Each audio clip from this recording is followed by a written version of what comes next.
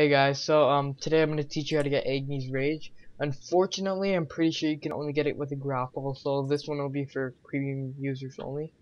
So basically, get on top of this side of the statue and uh, jump here. Just follow my movements. You just gotta do like just a little parkour, nothing too special across the trees until you get to a certain part. Um, you'll see uh, it after I'm done here.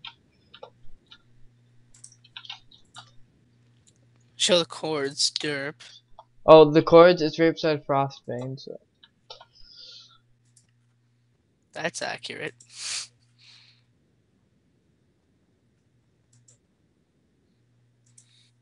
I, I. Your local wingman. Right here. Okay, so apparently you can make this jump from here to here I've seen it done. I've never done it, so I I suggest just using a grapple. Simple, old fashioned.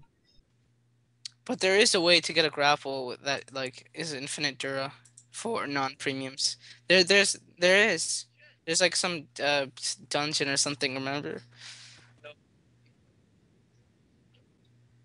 What the dungeon? So just follow this just... parkour. Basically, you just want to get to the top of this uh, red flamey thing. Mm -hmm. And uh, yeah, Agni's Rage basically 25% chance to set set someone on fire when you hit them, 15% chance to set you on fire. It's not too great. Um, it's a legendary sword. It's considered a legendary sword. Um, yeah. So yeah. Basically, when you when you get to this part, you want to just get on the tip of the flame. Try to grapple up there. Don't hit yourself, cause that'd just be fucking stupid think you can grapple up here from here. Oh shit! Oh god. Okay, that was like a super. Not that's not a weak grapple, man. Holy shit. Okay, so back up here. Basically, you just want to go up here, cross like this. Whew. So basically, the chest is in there, as you can see. So you just want to go across the side. You can camp it, but you're gonna have to stay there to camp it, and zombies will spawn if you try to camp it. Um, I've seen a pigman spawn once, so I want to watch out for that too. Uh, and Agni's Rage, it comes in, this was a really bad Dura one, 45 Dura. But, uh, yeah, you can see that's the Agni's Rage sword, so I'm gonna go camp it for a better Dura, and, uh, I'll be back when I'm getting down.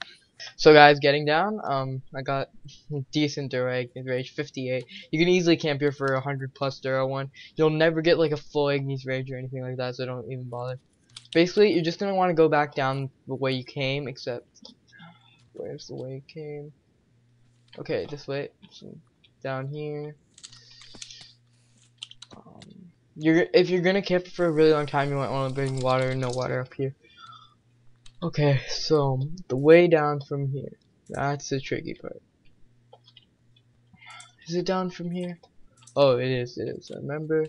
So basically, you can just jump down onto that flame and you'll make it. You might want to bring some health pots. Oh, so as you can see, it did four hearts of damage.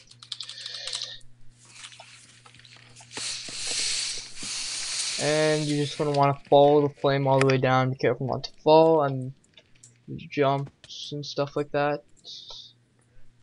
Shift if you can. Other times. Oh, server reboot. Okay, I'll just get down real quick before the server reboot. Shit. Oh god, I almost fell. And then basically just hop onto that tree and down here. You're back on the ground with the Agni's Rage. So uh see you guys later.